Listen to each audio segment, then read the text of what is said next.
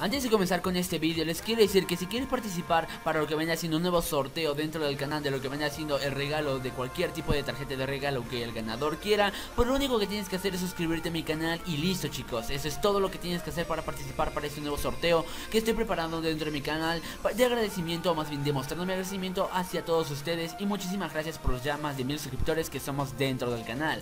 El resultado lo estaré dando cuando lleguemos a la cifra de 1500 suscriptores. Así como chicos ya lo saben, no olviden suscribirte para participar por este nuevo sorteo que estoy preparando dentro del canal. Así que ahora sí, sin nada más que decir, comencemos con el vídeo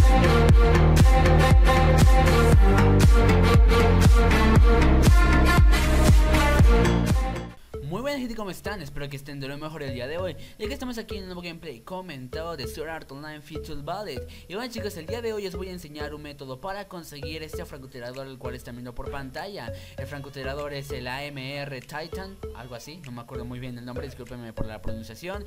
Y bueno chicos, el francotirador tiene algo en especial El cual, o más bien la cualidad de este francotirador es que hasta ahora, hasta ahora Es de los francotiradores más poderosos con la mayor cantidad de daño proporcional en cada disparo, ¿ok? Tiene como base un daño de 1000 y mejorado 1800 hasta un máximo de mejorado con tiros a la cabeza de inclusive más de 10000 hasta 20000 de daño. Inclusive si lo mejoras y más adelante podrás conseguir muchísimas más mejoras para este francotirador agregando también chips de mejoras como os dije anteriormente.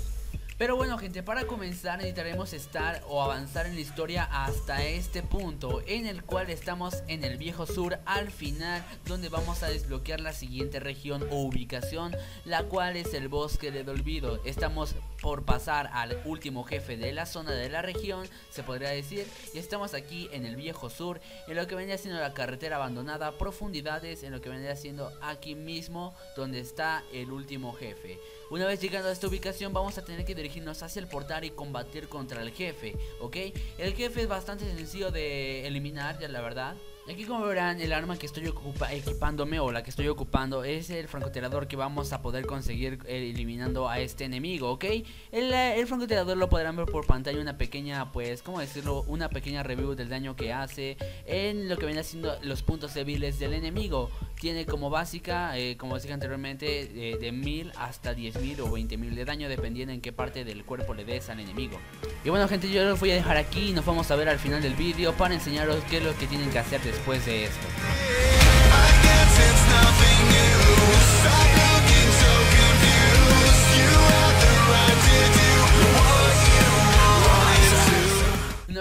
Jefe nos va a dropear un objeto al cual se va a llamar AMR Timeman Este es el arma francotirador como si le quieran decir legendario o más bien épico porque no es legendario es un arma épica que la verdad hace bastante daño Y tienen dos tipos de formatos se puede decir de dropeo. Ya sea por medio de lo que viene haciendo el arma completa ya, ya, ya la van a tener no O si a ustedes les aparece fusil de francotirador por tazar Ustedes se tendrán que ir a la siguiente ubicación. Para la gente que ya tenga el AMR Timeman esto será lo último que tienen que hacer y ya solamente faltaría mejorarlo sin ningún tipo de problema.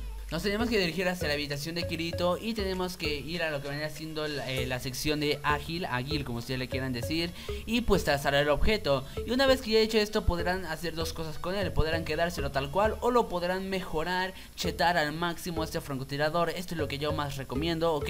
Nos iremos hacia la sección del taller de Lisbeth o de Liz como ustedes le quieran decir. Nos vamos a ir hacia mejorar un arma y le vamos a seleccionar en fusiles de francotirador. Abriremos el menú de lo que vendría siendo el AMR Timemat, ok. Una vez hecho esto nos vamos a ir hacia la, hacia la opción que más nos deje o la, fórmula que nos permita mejorar. La aceptaremos, mejoraremos el francotirador y nos aumentará muchísimo el daño proporcional que hará este francotirador. Y de nuevo lo podemos mejorar una segunda vez. De nuevo yo aquí tengo un, una, mejora de una mejora avanzada y la ocupo. Y listo chicos, 1800 de daño, casi 1900 de daño en cada disparo. También inclusive le podrán cambiar y traspasar chips de mejora este, a su francotirador actual, trazando algunos objetos, creándolos y así obteniendo algunos chips de mejora pasándolos al francotirador que ustedes quieran mejorar, o sea, el AMR Time para que así el francotirador haga muchísimo más daño proporcional a lo que normalmente hace una bala normal de este. Así que bueno chicos, eso ha sido todo por el vídeo de hoy. Espero que les haya servido e informado un poco sobre pues este, este método para conseguir el francotirador épico, legendario como ustedes le quieran decir, de una manera súper sencilla y súper fácil de realizar. Así que bueno chicos, no olviden apoyarme con un pedazo de like, suscríbete si no estás activa las notificaciones para no perderte ningún video como este y comparte el video con tus amigos para que así más gente conozca nuestro canal y nuestra familia siga creciendo. Así que bueno chicos, ya lo saben, yo soy Federico Mayete y nos estamos viendo en el próximo video. Adiós.